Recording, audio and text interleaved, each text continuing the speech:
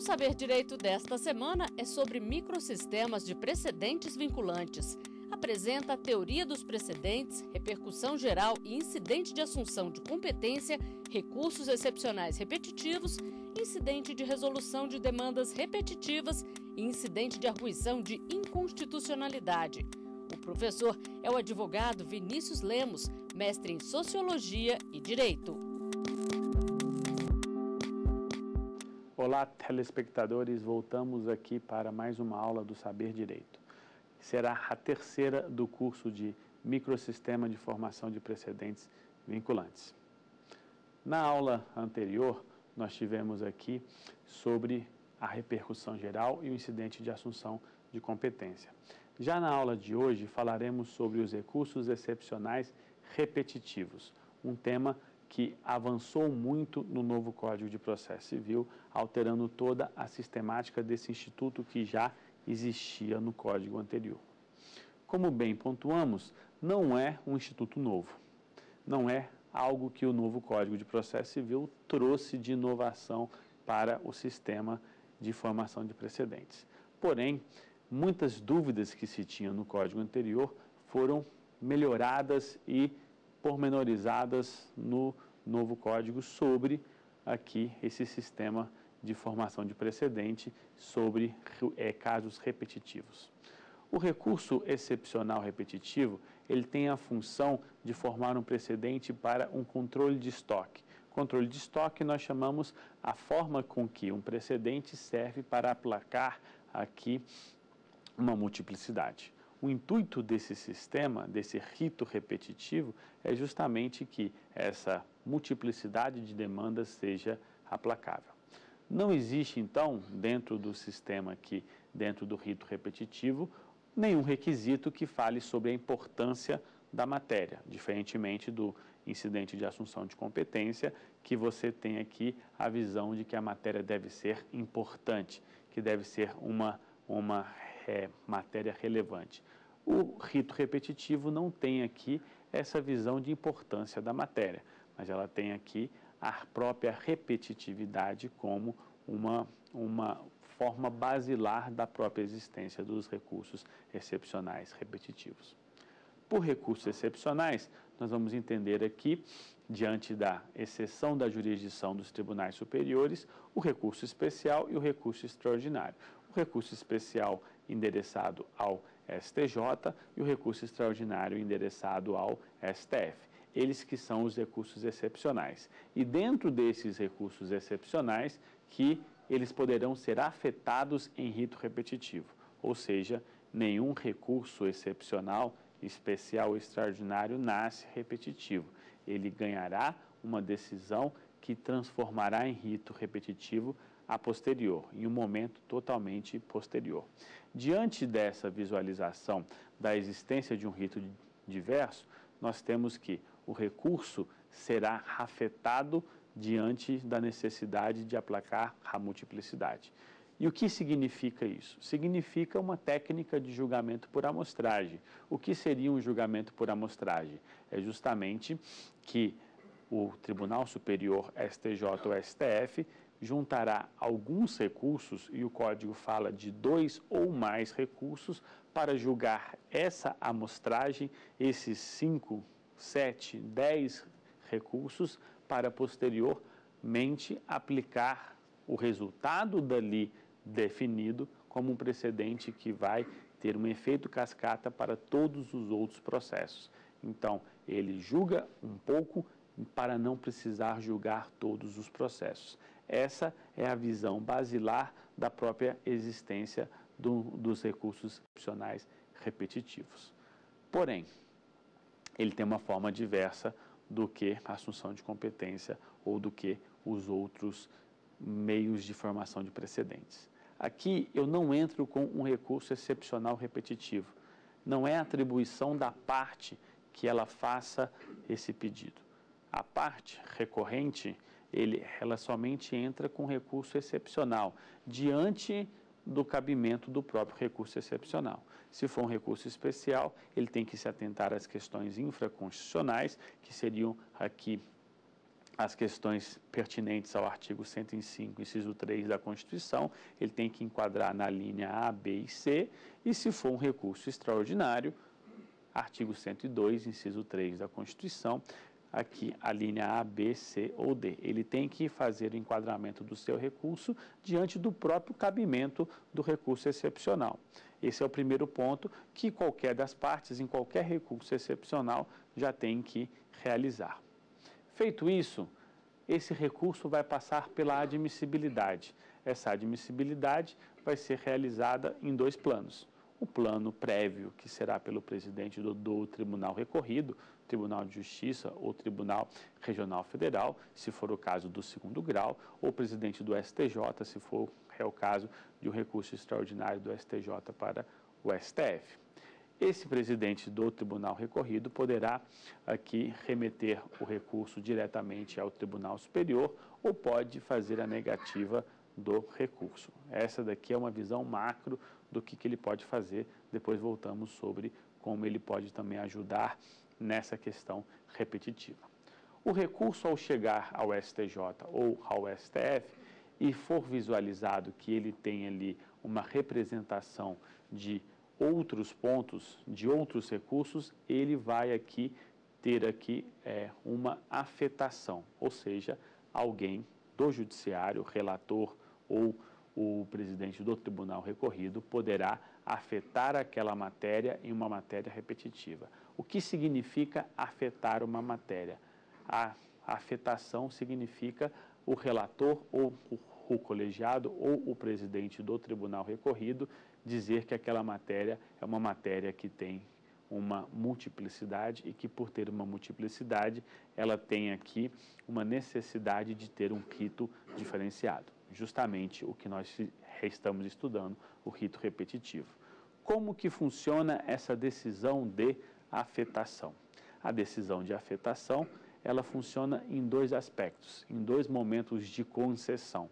Ele tem a afetação regional e a afetação federal.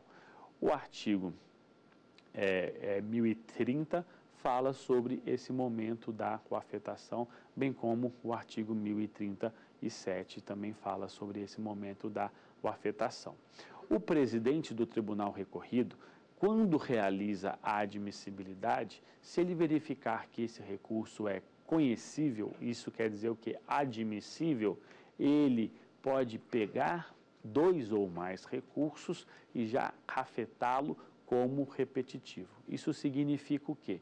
O próprio presidente do Tribunal de Justiça ou do Tribunal Regional Federal já pode aceitar dois ou mais recursos com atribuição de um rito repetitivo.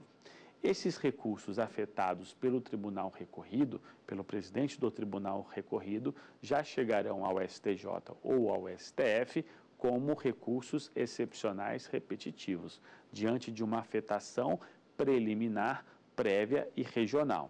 Por que, que nós chamamos dessa afetação regional? Ela é regional porque ela é feita pelo presidente do tribunal local, que vai ser aqui ou estadual, se for um tribunal de justiça, ou federal, se for um tribunal regional federal. Mas por ser aqui uma afetação meramente preliminar, ele só pode fazer a afetação diante da decisão e dos aspectos da própria afetação no âmbito da territorialidade do próprio tribunal. O que, que isso significa em relação a essa territorialidade? Significa que o tribunal aqui, o presidente dele, só vai poder afetar a matéria e suspender os processos diante do próprio tribunal. Então, um presidente de um tribunal estadual, ao escolher dois ou mais recursos é, é, é, recepcionais especiais, por exemplo, para afetar em rito repetitivo, ele simplesmente afeta eles, diz qual que é a matéria, esse é um aspecto muito importante que nós voltaremos a falar sobre a decisão de afetação, e suspende os processos que estão em trâmite que têm a mesma natureza fático-jurídica. Mas qual que é o limite dessa suspensão? Aí que entra a afetação ser regional. Por que, que a afetação será regional aqui? Porque aquele tribunal tem um aspecto territorial, vai ser uma afetação somente regional para aquele estado ou para aquela região, sobrestando aqueles processos. Feito isso, ele faz a decisão de afetação preliminar, estadual ou regional e remete ao Tribunal Superior. Ao remeter ao Tribunal Superior, o Tribunal Superior faz, se vier com uma afetação, uma revisão dessa afetação. Isso quer dizer aqui, o relator vai rever diante da própria admissibilidade do recurso, que ele pode fazer uma reanálise, ele também faz uma reanálise da decisão de afetação. O que significa essa reanálise? Se o presidente do, do tribunal já disse que tem uma afetação, o relator vai ressignificar essa afetação. O que, que, seria essa ressignificação? Uma reanálise para verificar se existe mesmo uma multiplicidade, se aquele assunto representa ali uma multiplicidade que possa trazer risco à segurança jurídica, risco à própria existência de jurisprudência lotérica. Então, esse é o ponto que nós temos aqui sobre a revisão do relator. O relator, ao receber esses recursos excepcionais repetitivos afetados pelo presidente do tribunal, ele mesmo já pode fazer essa afetação ou revisão da afetação. São duas as possibilidades que o relator pode fazer quando esse processo, esses recursos chegam já como afetados. Ele pode manter a afetação e aí transformá-la de uma afetação regional em uma afetação federal, já que ele é um relator de um tribunal superior e com âmbito no Brasil inteiro. Então, ele acata a afetação feita pelo presidente do tribunal recorrido e amplia para todo o território federal. Ele pode fazer uma revisão da delimitação material e também ele vai aqui ampliar a própria suspensão para os processos do Brasil inteiro. Então, esse é o primeiro ponto em relação aqui ao que o relator pode fazer. Depois, nós temos aqui que pode ser que ninguém, nenhum tribunal tenha falado nada sobre afetação. Nenhum tribunal de justiça ou regional federal tenha afetado a matéria. O relator poderá afetar a matéria?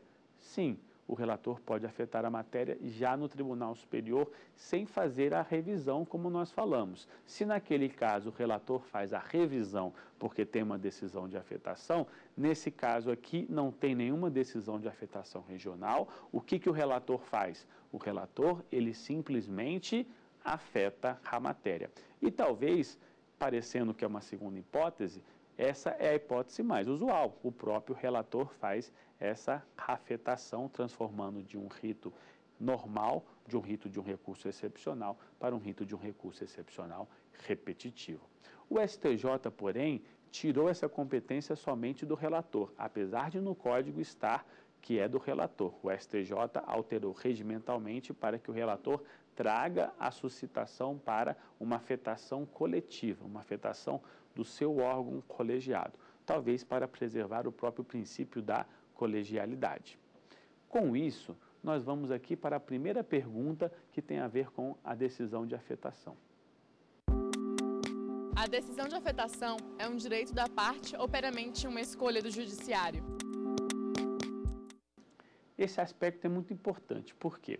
Porque não temos os legitimados para requerer a decisão de afetação. Ou seja, se eu sou requerente ou recorrente de um recurso excepcional, eu não posso simplesmente falar assim, eu quero que meu recurso seja analisado em rito repetitivo. Essa é uma prerrogativa meramente oficiosa, meramente do Tribunal Superior ou do presidente do Tribunal Local. Então, nós não, não temos que a parte requeira ao tribunal, que o Ministério Público requeira ao tribunal ou que a Defensoria Pública o faça, como nós vimos aqui em outros incidentes. Então, aqui a parte simplesmente vê o seu processo afetado ou não em rito é, repetitivo. Então, isso tem de diferente, respondendo à pergunta, é uma prerrogativa meramente oficiosa, meramente dos tribunais, com as prerrogativas colocadas pelo artigo 1037 do novo Código. Diante dessa visão, eu que tenho um recurso posso fazer um requerimento dizendo que eu, que eu quero que ele seja analisado, se poderia ter uma decisão de afetação? Não há óbice nenhum em relação a isso, até porque o que puder ser feito de ofício pode ser requerido pelas partes, mas não há nenhuma obrigação em relação ao relator ou ao colegiado, como o STJ já modificou o seu regimento, para que ele tenha que responder em relação a essa afetação. Então, é uma prerrogativa meramente do judiciário, por mais que as partes possam estar, possam peticionar em relação a isso, é uma petição que não vai ter aqui uma necessidade de resposta ou qualquer visualização diante de obrigatoriedade de que se responda. A prerrogativa é meramente do Tribunal Superior ou do presidente do Tribunal recorrido. Diante disso, cabe a explicação o que, que é essa decisão de afetação e, principalmente, qual que é a importância da decisão de afetação. Se nós falamos na primeira aula sobre a teoria geral dos precedentes judiciais, sobre a ratio decidente, o que, que seria essa ratio decidente? É o ponto que forma é o, é o precedente, as razões de decidir do próprio precedente, a decisão de afetação diante do rito repetitivo é a delimitação material do que, que será julgado em rito repetitivo. E aí será o início de um pensamento e uma delimitação da própria razão de decidir. Não existirá rácio decidente em relação ao rito repetitivo sem uma decisão de afetação. E por isso que a decisão de afetação dada pelo relator, pelo presidente do tribunal recorrido ou pelo colegiado, no caso do STJ, tem uma importância muito grande. Os pontos materiais dela serão a base do próprio julgamento. Então, a decisão de afetação, num primeiro momento, ele faz aqui a delimitação do que será julgado em rito repetitivo. Por quê? Porque vários desses recursos podem ter matérias múltiplas. Ninguém recorre somente sobre um ponto, pode ter diversos pontos, pontos materiais e pontos processuais. Diante dessa sistemática, nós podemos visualizar que uma decisão de afetação ela é importante para dizer o que será julgado em rito repetitivo e, principalmente, tudo aquilo que não constar na decisão de afetação, logicamente, será aqui não julgado em rito repetitivo, mas também será enfrentada essa matéria. Então, esse é o primeiro ponto da decisão de afetação. O que for afetado vai ser julgado e formará um precedente repetitivo. O que não for afetado também será julgado, mas não terá o mesmo condão do rito repetitivo. Depois, a decisão de afetação faz o quê?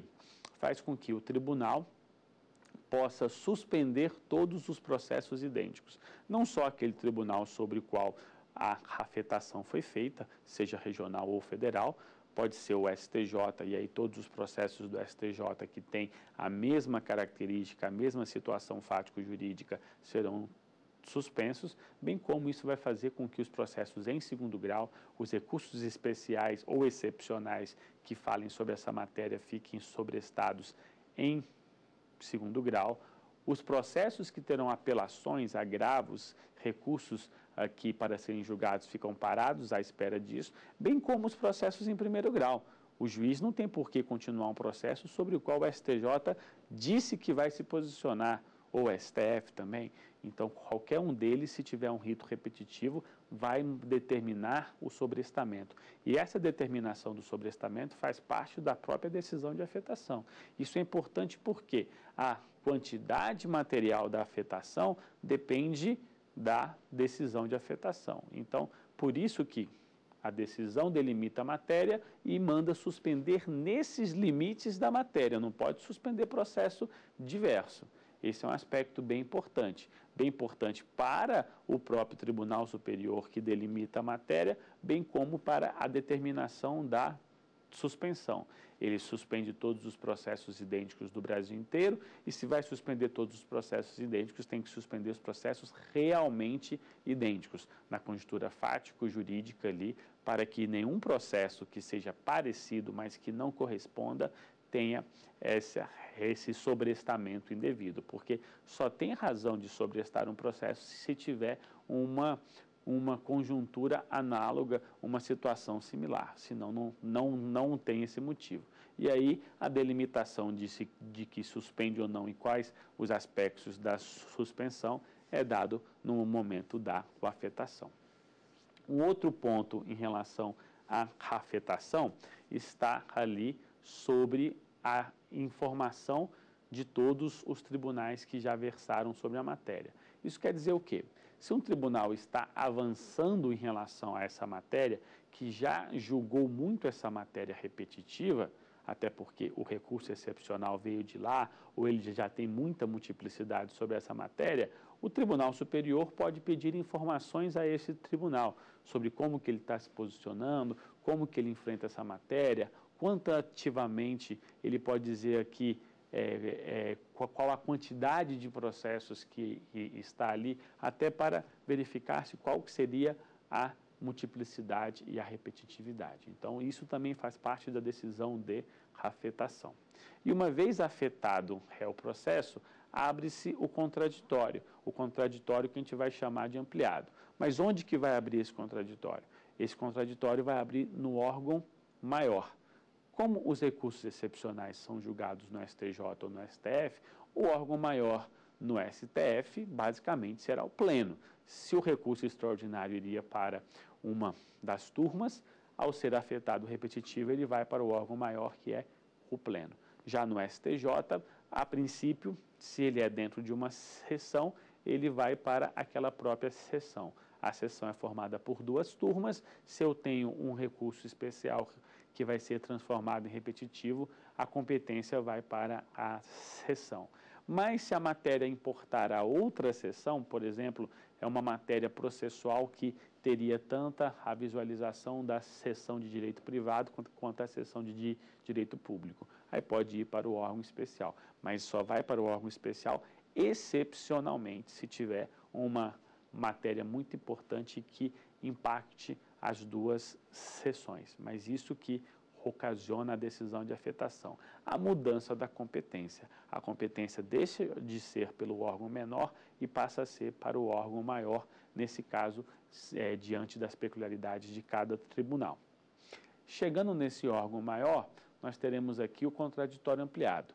O que, que é esse contraditório ampliado? Se nós temos uma matéria repetitiva, logicamente essa matéria vai ser julgada não só por um colegiado maior, mas numa amostragem que vai valer para aqueles processos que forem julgados, mas também vai ser impactado em outros processos que estão suspensos, suspensos regionalmente ou suspensos em modo federal. Se esses processos serão afetados, logo nós temos aqui a necessidade de que outros intérpretes possam falar, outras pessoas possam entrar nesse processo para dar a sua opinião. Esse é o aspecto do contraditório que chamamos de ampliado aqui. Uma vez afetado o rito repetitivo, tem que ampliar-se esse contraditório. Quem pode participar desse, dessa ampliação? Primeiramente, as partes processuais dos recursos afetados. Quantos são os recursos afetados? Dissemos que o código fala de dois ou mais recursos. Esse ou mais dependerá da própria decisão de afetação do tribunal local e do tribunal superior. Esses recursos serão chamados de recursos representativos da controvérsia e todos eles vão poder se manifestar em memoriais e poder versar sobre a questão repetitiva. Como que são escolhidos esses recursos representativos da controvérsia? Aqui existe uma grande lacuna do Código de Processo. Como que tem que pensar nisso? Tem que pensar que vai se afetar os processos que têm melhor conjuntura fático-jurídica sobre aquela matéria e que tragam elementos diversos. Vamos supor que um recurso tem algumas teses jurídicas, um outro recurso sobre a mesma matéria tem outras teses jurídicas e que possam ali ser complementares entre elas. Tem um, um, é, é, um estudo sobre isso do professor Cabral que ele fala sobre a importância de se regulamentar a escolha dos, dos recursos é, representativos da controvérsia. Por quê? Porque fica esse, essa escolha sem ter uma, um padrão de objetividade. Algumas das sugestões que a doutrina dá é que os processos coletivos sejam preferidos, tenham prioridade em relação aos individuais. Se tiver um processo coletivo que fale sobre essa matéria, ele teria preferência para a afetação. Mas isso é meramente estudos e não que aconteça realmente na realidade. Então, diante desses recursos representativos da controvérsia, as partes podem se manifestar. Mas, nesse mesmo tempo em que foi afetada a matéria, vai poder se admitir a manifestação de amicus curiae. Todos os amicus curiae que representam a sociedade podem, podem intervir. Eles vão re requerer um ingresso naquele rito repetitivo, opinando sobre a matéria, opinando sobre a resolução da questão repetitiva. Difere-se da repercussão geral, porque na repercussão geral também pode falar da admissibilidade. Aqui ele fala exatamente do julgamento da questão repetitiva. Para ser amicus curiae aqui precisa ser um representante da sociedade ou ter um, e ter uma expertise sobre a matéria, uma técnica explicativa sobre a matéria. Então, esse é um ponto sobre a participação dos amicus curiae. Depois, nós temos as audiências públicas. A critério do relator, ele pode marcar audiências públicas. Nas audiências públicas, ele alcança uma maior quantidade de especialistas, fugindo um pouco só daqueles que são aqui por entidades. Aí a própria sociedade civil pode participar. E isso é muito importante. E não só importante para que tenha essa audiência pública, mas como ela seja influenciante. Depois nós temos a manifestação do Ministério Público. O Ministério Público, como o Custo Ledes, pode, ele deve se manifestar aqui e falar sobre a resolução do precedente. Essa é uma questão muito importante porque ele finaliza o precedente. Ao Ministério Público dar o seu parecer com todos os outros pareceres, com todas as outras manifestações, aqui nós temos a maturação do repetitivo, onde aqui nós temos que ele está pronto para o julgamento. Diante dessa visão pronta para julgamento, a procedimentalidade do repetitivo está colocada. Já, já se ampliou-se o contraditório, já mudou-se em relação à própria competência de julgamento. E aí o processo, diante desse rito repetitivo, estará pronto para julgamento. E essa é a, é a parte interessante e complexa do próprio rito repetitivo, o momento do próprio julgamento, o que faz com que nós chamemos a segunda questão. O sistema de julgamentos dos repetitivos funciona em dois planos decisórios? Esse aspecto é muito importante, porque é isso que difere o rito repetitivo. O rito repetitivo ele trabalha realmente em dois planos de decisão. Por quê? Porque a decisão de afetação, ela fala exatamente sobre o repetitivo e a delimitação material. Mas um recurso principalmente excepcional podem ter diversas questões de direito e não são todas daqueles recursos que serão afetadas em repetitivo. Logo, quando a sessão ou o pleno, dependendo do tribunal, for julgar em rito repetitivo, ele depende muito sobre a própria questão em relação ao que vai formar um precedente e o que não vai formar o precedente. Então, realmente, ele é julgado em dois planos de decisão. O que seria esses dois planos, ou que seriam esses dois planos de decisão? Os dois planos é que o julgamento formado em rito repetitivo, diante dessa técnica de causa piloto, onde você tem aqui algumas causas que são julgadas para servirem de base para os outros processos neste julgamento por amostragem, parte dele vai ter essa questão repetitiva. E essa parte da questão repetitiva vai ser julgada em primeiro plano. Ou seja, iniciou-se o julgamento com todas as sustentações orais em relação aos legitimados, as partes representativas da controvérsia, os, os amicus o Ministério Público vão poder se manifestar oralmente e quando se manifestarem suas sustentações orais, começa seu julgamento, logo após as manifestações. Ao começar o julgamento, esse julgamento tem dois planos. O primeiro plano é o julgamento que serve de base de repetitivo, ou o que nós podemos chamar o julgamento formador do próprio precedente. É esse julgamento que vai servir de base para a formação de um precedente. A decisão de afetação é respondida aqui. Se a decisão de afetação diz determinada matéria está afetada para a resolução de um rito repetitivo. Nesse momento aqui, nós temos que o tribunal, diante, diante do seu órgão colegiado competente para tanto, vai definir o que, que é o resultado daquela matéria repetitiva, como que aquela matéria repetitiva impacta o julgamento e como e qual que é o precedente formado nesse rito repetitivo. Porém, nós temos aqui que cada um dos recursos terão outros pedidos, além do rito repetitivo. E o que fazer com esses pedidos? Esse processo saiu da turma e foi para um colegiado maior. Foi para a sessão no STJ ou foi para o pleno no STF. A questão repetitiva está julgada, seja ela processual, seja ela material, seja ela incidental, seja, seja ela de mérito. Ela está julgada, mas os outros pedidos e as outras questões de cada um dos recursos não foram julgadas ainda. O que deve acontecer nesse caso?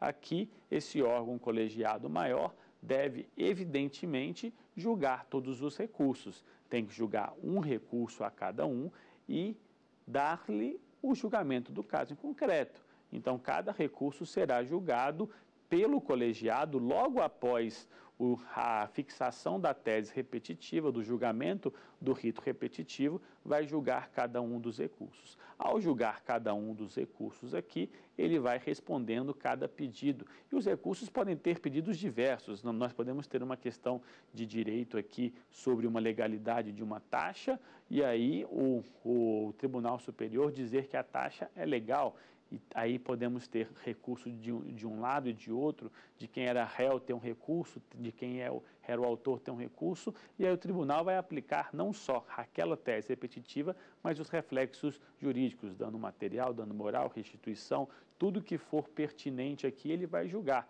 E aí cada recurso vai ter a sua peculiaridade podemos ter recurso que só tem aquela questão repetitiva, podemos ter recursos que têm, além daquela questão repetitiva, vários outros pedidos. E todos os recursos têm que ser julgados. Não pode ficar nenhum recurso sem ser julgado, mesmo diante desse colegiado maior. Então, o colegiado maior, no rito repetitivo, tem a função de julgar no próprio rito repetitivo, de julgar dentro dessa dessa sistemática de um rito repetitivo, mas também entregar a jurisdição de todos os outros pedidos que não sejam repetitivos. Por isso que nós dissemos sobre o plano decisório aqui. São dois planos de decisão, um repetitivo e outro que cabe para aquele recurso. O repetitivo é formado um acórdão padrão do repetitivo que vai servir de base para todos os outros processos e para aqueles processos diante da matéria repetitiva.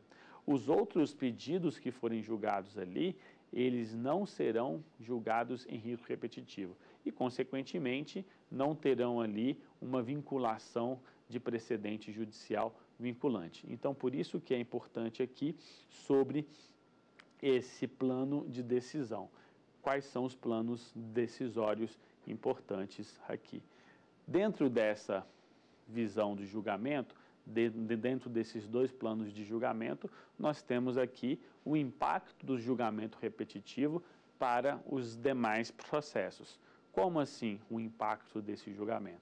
Se escolheu-se uma causa piloto ou várias causas pilotos para formar o repetitivo, nós temos aqui os processos sobrestados, os processos afetados. Como ocorrerá aqui o impacto desses processos? Será no que eu chamo de um efeito cascata. Como assim um efeito cascata? Os processos serão aqui julgados de acordo com o definido pelo Tribunal Superior, seja o STJ, seja o STF. Definida aquela matéria repetitiva, primeiro terá um impacto dentro do próprio tribunal.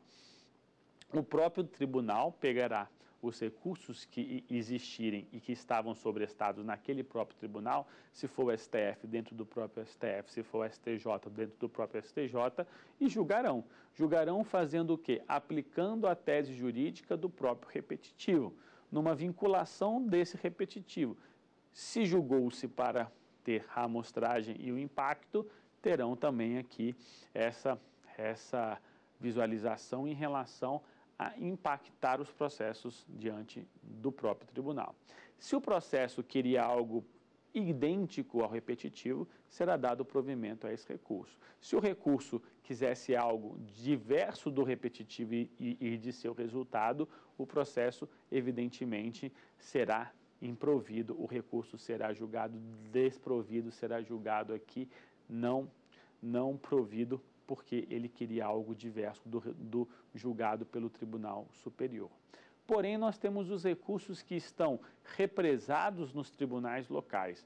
Isso quer dizer o quê? Os presidentes dos tribunais locais, durante todo o trâmite do repetitivo, se alguém entrou com recurso especial ou com recurso extraordinário, evidentemente ele não levou para o Tribunal Superior. Nós temos no artigo 1030 a determinação de que, se tiver uma matéria repetitiva a ser julgada, é função do presidente do tribunal recorrido sobrestar esse processo. O que, que seria esse sobrestamento do processo aqui? Ele sobresta esse processo, esse recurso especial ou recurso extraordinário, para quando o tribunal definir a matéria repetitiva, ele possa aplicar o repetitivo nesses recursos que já foram interpostos, mas não foram remetidos para o Tribunal Superior. Quando esses recursos forem aqui analisados, o presidente do tribunal pode fazer duas, dois resultados, ele pode chegar em duas situações jurídicas. A primeira das situações jurídicas é o recurso querer algo diferente do repetitivo. O repetitivo firmou um posicionamento A e o recurso quer um posicionamento B. Evidentemente, o presidente já julga dizendo o que pretende o recorrente do repetitivo. Ele quer algo diverso do repetitivo e que, ao pretender algo diverso, o recurso será inadmissível porque não respeita o próprio repetitivo. Então, essa é a primeira situação jurídica. A segunda situação jurídica funciona quando o recurso excepcional quer algo idêntico ao recurso repetitivo. Isso quer dizer que o recurso repetitivo chegou numa situação A e aqui nós temos a situação B, que seria o que o recurso, o, o, o julgamento quer. Então aqui nós temos que o tribunal não vai dar aqui o provimento ao recurso, porque o presidente do tribunal não tem competência para dar provimento ao recurso. Se o recurso quer a mesma coisa que o repetitivo e a decisão B é a decisão do próprio tribunal, o presidente manda o recurso para a Câmara, que julgou diferente do repetitivo, quando o repetitivo nem existia, e lhe concede a oportunidade de se retratar. Isso quer dizer o quê? Se o repetitivo é A, o recurso é A e a decisão é B, o órgão colegiado daquele Tribunal de Justiça ou Regional Federal pode se retratar, adequando-se ao repetitivo. Se ele não se retratar e disser ao presidente que ele mantém a decisão, aí nós temos aqui a necessidade de remessa ao Tribunal Superior. Somente nesse caso será feito a remessa ao Tribunal Superior. A remessa ao Tribunal Superior aqui será uma visão meramente de remeter para que o próprio tribunal cumpra a sua função de aplicar o precedente. O normal seria que o Tribunal de Justiça ou, Regional Federal apresentasse uma lógica de coerência, integridade e respeitasse o rito repetitivo, o precedente ali firmado, alterando o seu posicionamento para que o recurso nem precisasse ir para o Tribunal Superior. Porém, se ele mantiver aqui a resignação, ele, ele mantém-se o posicionamento e o, e o recurso vai para o Tribunal Superior. Essa é a consequência lógica do rito repetitivo. Você ter aqui a visão de que esse rito repetitivo vinculará os processos que foram afetados, que foram sobrestados aqui. Primeiro ponto que nós pensamos sobre isso é que, se, se os processos foram suspensos, eles já estão interligados ao próprio repetitivo. Isso quer dizer o quê? O, a causa piloto é julgado para dar vazão a esse julgamento, a essa causa repetitiva. Então, diante disso, seria uma consequência lógica do próprio repetitivo essa afetação, esse, esse impacto na própria visão de que nós temos uma vinculação. Porém, nós temos aqui que nem só aqueles processos que já tinham recursos excepcionais serão idênticos à matéria. Suspenderão todos os outros processos que versem sobre a matéria, ainda que seja uma apelação não julgada, um agravo não julgado, uma, é um processo em primeiro grau que não foi julgado ainda nem em sentença. Esse é um ponto muito importante em relação ao rito repetitivo. Se ele formará um precedente que valerá para todos esses processos. Essa é uma questão que foge à técnica do julgamento repetitivo, levando em consideração muito mais a teoria dos precedentes que nós vimos na primeira aula. Diante de uma visão de que os repetitivos não existirão mais nessa situação, porque se definiu o, o réu repetitivo, réu precedente, e aplicou-se a todos os casos que já existiam em recurso recepcional repetitivo, sejam eles sobrestados em, primeiro, em, em segunda instância ou existentes no, no tribunal. Se vai utilizar eles em processos que já existem ou até em processos futuros, não é mais a regra do repetitivo. É pegar o precedente do repetitivo e utilizá-los como um precedente judicial, não mais meramente repetitivo. Existe essa vinculação? Essa vinculação é um ponto pertinente do próprio Código de Processo Civil e que o rito repetitivo fala muito sobre essa vinculação. O que nos leva à terceira pergunta dessa aula. Eu queria saber se a decisão oriunda do rito repetitivo tem vinculação para os demais órgãos jurisdicionais. Essa vinculação é pertinente a dois planos. O primeiro plano, como nós já vimos, que é a vinculação a todos os, os, recursos excepcionais existentes e sobrestados. Aqui nós utilizamos a técnica do próprio repetitivo. Suspende todos os, os recursos, transformando em afetados ao repetitivo, julga-se alguns recursos e aplica-se aquilo que se decidiu nesses processos afetados, sobrestados e suspensos para a definição. O próximo ponto é, esse precedente formado, ele vincula todos os casos para o futuro. Essa é uma noção que nós teremos aqui, porque o rito repetitivo é um precedente para controle de estoque. Uma vez que ele julgou todos os processos que estavam existentes, a questão fica: ele vinculará os demais órgãos jurisdicionais para o futuro? Depende, depende das técnicas de formação de precedente e principalmente de aplicação e superação de precedente. Não serve o repetitivo para aquilo que não for idêntico, para aquilo que for distinto. Vamos supor que você tenha um processo que erroneamente ele foi suspenso ou sobrestado, dizendo que ele tinha similaridade com o repetitivo. Se você entender que não tinha similaridade, você faz uma petição. Essa petição está prevista no Código a partir do parágrafo 9 ou 10 do artigo 1037 do Código de Processo Civil, onde ele diz que quem entender que o seu caso não é adequado, não é similar ao repetitivo, pode fazer a petição de distinção. Essa petição de distinção ainda não é o distingue-se que nós aprendemos na primeira aula. Ele é simplesmente, antes da formação do precedente, dizer: o meu caso não deve ficar sobrestado porque nós não formamos ainda um precedente. Nesse caso, eu estou querendo, antes da formação do precedente, que meu caso seja retirado da própria suspensão. Essa é a decisão que mantém ou não mantém a suspensão mas para os casos futuros, aqueles que serão intentados ainda pós o precedente, pós o repetitivo. Eles são vinculados? Creio que sim, mas creio que sim diante da técnica de formação de precedente. Se alguém chegar com um argumento que não vale mais para o repetitivo, com o argumento de aquele repetitivo não tem mais razão de existir porque novas conjunturas fáticas, jurídicas, sociais já importam mais e que necessita do julgamento de um novo repetitivo, talvez nós tenhamos ali a não aplicação do repetitivo. Mas lembre-se sobre o ônus argumentativo. O ônus argumentativo impõe-se a quem quer superar o precedente. Quem não se colocar esse ônus argumentativo não pode aqui querer que o precedente firmado em repetitivo não seja aplicado. Então, diante de uma inércia argumentativa, o precedente tem uma conjuntura fática, jurídica idêntica ao repetitivo, ao, ao, caso análogo, futuro deve ser aplicado. Se tem uma nova conjuntura fática, as partes devem se manifestar sobre isso e argumentarem sobre isso para superarem o precedente.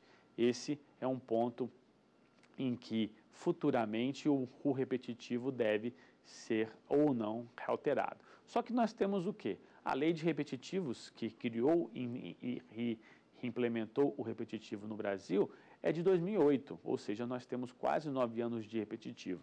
O novo Código de Processo Civil aumentou a legislação, pormenorizou os seus requisitos e a sua procedimentalidade. Então é muito cedo para nós pensarmos que um repetitivo pode ser alterado.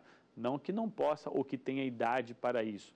Se, vier, se sobrevier uma nova lei, nós temos aqui a total possibilidade de revogar um repetitivo, de criar outro repetitivo por cima, de fazer um overruling, de fazer aqui uma superação parcial de um precedente. Só que isso não pode ser simplesmente pela mudança da conjuntura do próprio órgão jurisdicional, mudou-se a, a sua composição. Tem que ter ali uma respeitabilidade para manter a, a visão aqui em relação à segurança jurídica, à estabilização, coerência e integridade. O repetitivo deve ser alterado quando realmente ele não ter mais a visão sobre a própria estabilização do que se decidiu. Se tiver novas conjunturas, altera-se o repetitivo pelo mesmo tribunal que firmou o repetitivo e diante das mesmas conjunturas, ampliação de rédeo contraditório, é, é, roitiva de todos que possam ajudar e a decisão de afetação. Aí não mais a afetação repetitiva, mas a afetação na revisão de tese do repetitivo. Diante desses aspectos, nós temos aqui o repetitivo pode ser no STJ e pode ser no STF. Se for no STF, caberá qual recurso? Não caberá um recurso posterior a ele, porque já é o Supremo Tribunal. Aqui nós temos somente embargos de declaração para que nós tenhamos aqui eventuais dúvidas sendo retiradas, eventuais omissões, obscuridades aqui ou contradições sendo retiradas. Não temos um recurso que possa rever o repetitivo. Somente um outro recurso extraordinário que tenha aquele ônus argumentativo que nós falamos que ele poderia ser revisto pelo STF. Depois nós temos que esse rito repetitivo também é aplicado ao STJ. O STJ, ao firmar um rito repetitivo, ele tem aqui a possibilidade de um recurso. Qual recurso? O recurso levando para o STF, caso tenha uma das hipóteses de cabimento aqui que nós verificamos nas hipóteses das questões que, é, constitucionais, artigo 102, inciso 3 da Constituição Federal. Não é simplesmente porque veio do STJ que vai caber um recurso extraordinário, mas em cabendo um recurso extraordinário, ele, ele é plenamente cabível no rito repetitivo. Então, aqui, do repetitivo do STJ, nós temos os embargos de declaração, da mesma modo do STF, e temos também o recurso excepcional, extraordinário aqui, levando para o STF. Um ponto importante do repetitivo, e isso alterou-se, o artigo 998 do Código de Processo Civil, no seu parágrafo único, ele fala o quê? Se houver a desistência de um recurso representativo da controvérsia, de um recurso repetitivo, ou seja, um dos recursos repetitivos lá desistir, a parte falar assim, não quero mais que julguem o meu recurso, ele será julgado em abstrato. Isso quer dizer o que? Aquele processo ali, ele não será julgado, mas os argumentos e a conjuntura fática, a concretude daquele processo será levado em consideração para formar o precedente, por mais que ele não tenha mais ali essa conjuntura fática ou essa visão em relação ao precedente. Isso é muito importante justamente porque no código passado tinha essa questão se podia sim ou não desistir do precedente. Mesma coisa acontece na repercussão geral. Aceita-se a desistência e julga a tese jurídica para que não se, é, se, se tenha ali nenhuma perda em relação à discussão desse instituto. Esse é um ponto interessante. E o último aspecto sobre o, o, repetitivo é quando utilizar e estabilizar esse repetitivo. Por quê? A grande dúvida é que um repetitivo, ao ser julgado, ainda cabe os embargos de declaração. Já, já se pode utilizar, mesmo que ainda tenha os embargos, é importante esperar o julgamento de eventuais embargos para que você tenha aqui a possibilidade desse repetitivo ser aqui estabilizado e tudo mais. E quando houver um recurso ao Tribunal Superior, ao, do STJ para o STF, aí depende do efeito suspensivo concedido ou não no recurso extraordinário. Esse é um, é um aspecto bem importante sobre isso. Sobre o repetitivo, e aí também sobre todos os, os institutos, tem a modulação de efeitos. Firmado repetitivo, modula-se o efeito. Efeito é, é, prospectivo, efeito aqui regressivo do precedente, qual que é a data que vai ser alterado ali ou definida essa tese para que se, que se tenha essa modulação dos efeitos. Diante desse aspecto de modulação de, de efeitos, é importante para que você saiba quais causas serão impactadas e em qual momento será impactado, justamente para que você tenha ali quais os aspectos materiais ali ou da, é, da matéria do precedente sobre aquele ponto. E aí nós temos a própria modulação de efeito do precedente firmado em rito repetitivo. Diante disso, nós temos aqui o resumo da aula. A aula aqui falou sobre os recursos excepcionais repetitivos, começando pela sua própria conceituação. Qual a sua delimitação, quais os, os aspectos aqui diante dos ritos repetitivos. Depois, o seu âmbito de competência sobre o Tribunal Superiores, que, aqui será o STJ e o STF, falando também sobre a sua legitimidade, respondendo a pergunta sobre a própria oficiosidade dos tribunais superiores em, na concessão do rito repetitivo. Um outro ponto aqui foi a própria explicação da, da decisão de afetação, os aspectos procedimentais, o contraditório ampliado, a competência para julgamento do rito repetitivo e, e, como que se dá o plano decisório do repetitivo, quais são os planos, quais são as maneiras de julgamento dessa causa piloto aqui e depois o nível de vinculação do próprio repetitivo, qual que é a vinculação para os processos que estão sobrestados e qual que é a vinculação para os processos que estão por vir, que são futuros aqui, utilizando uma teoria geral dos precedentes. E assim eu me despeço dessa terceira aula, já chamando para a próxima aula sobre o microsistema de formação de precedentes, que a próxima aula 4 será sobre incidente de resolução de demandas repetitivas. Ficou com dúvidas? Então mande um e-mail para saberdireito@stf.jus.br. Você também pode estudar pela internet. Basta acessar o site tvjustiça.jus.br.